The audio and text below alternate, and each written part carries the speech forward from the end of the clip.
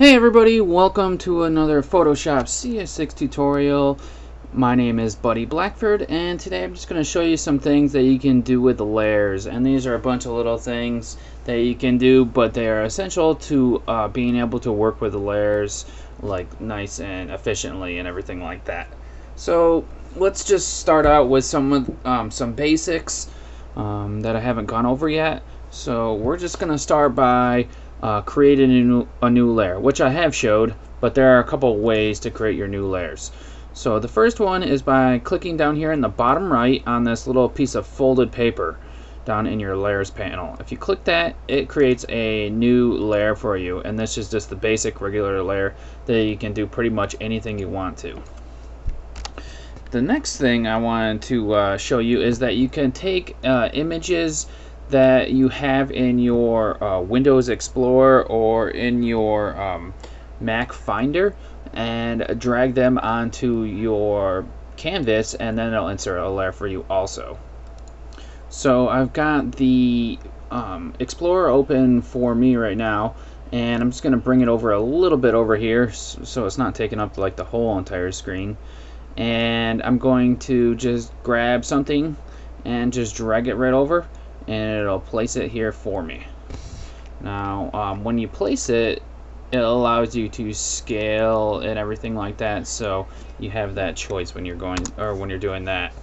And then, then the last way to add an image is, um, or to add something here, to add a new layer, file, and then uh, place, and you'll be able to just select whatever you want. So I'll select this because I, it's I don't have to resize it and I just hit enter and uh, there we go. So um, there's some ways to create new layers. Now when you have a your layers in here um, you're able to drag them around and reorder them. So if you click on a layer and have it selected and you drag it you're able to drag it into a different area. So that way you can uh, reorder what's on top and what's below. So for example I'm gonna take this business pig picture here I'm going to put that on the top. And then we can see that this picture here of Joby with the bass um, is below the business pig in the layer. So if I drag business pig on top of it, it's going to be over top in the layers also. So uh, that's how the layers work. Now, um, that's on the normal blending mode here, just so you know. So if you keep mostly everything on normal in your project, it'll overlap like this. Now if I bring Joby up above, obviously Joby is going to be over top in the uh, layers and uh, that's how the layer system is working for us here. So let me just move this out of the way and put him so he's not laying over top. Now you can move the uh, stacking order in your layers um, with your keyboard and there is a hotkey and I'll just type it out real quick for you. So it's going to be control if you're on the Windows and then um, if you're using the Mac it's going to be um, I think it's the option key.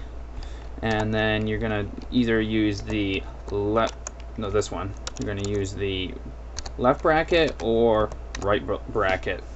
And uh, the left uh, left bracket moves the layers down and the right bracket moves the layers up. For some reason that's like a tongue twister for me to say. It's I want to say blacket for some reason. Oh well. Um, so that's how those work. Let me maybe drag this up here so it's not over over any pictures or anything like that. But that's how you move things up. So I have this layer selected and if I hold down control and then use my left bracket is going to start going down in my layers panel. So take a look at the bottom right in the layers panel and you can see that um, I'm using those keys. now on the layers you also have these uh, eyeballs that are to the left here and these are your visibility. You can click on them to toggle the visibility and it'll just disappear from the canvas. Now if you go to save this image, this um, this layer that isn't visible isn't going to save. So it's not, I mean, it's not going to show up. It'll save with the project and still be there, but it won't show up when you try to save out like a JPEG or a PNG or something like that. So make sure anything that you want to have on is on and anything that you don't want to save in your final image is off. So if you hold down Alt and then you click on the visibility for a layer, it will solo that layer.